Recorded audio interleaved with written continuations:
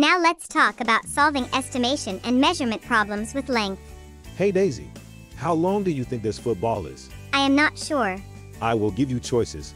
Do you think it is about 1 centimeter, 1 inch, 1 foot, or 1 mile? It can't be a mile because I tried to run a mile in gym yesterday and it felt like we were running forever.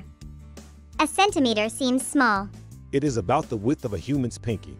That would be a really small football. An inch is just a little bit bigger than a centimeter, so that doesn't seem long enough. So that leaves us with one foot. Right, a football is about the size of a ruler. Brutus, look, Miss Piggy left us a note. It says I want to send my son Bacon a care package of donuts. I drew you a picture of the length of the box and the length of the donuts. How many donuts will fit in the box without squishing them or stacking them on each other? Thanks for your help.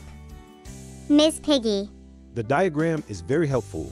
The ruler shows us the box is 6 inches long. One donut is 2 inches wide.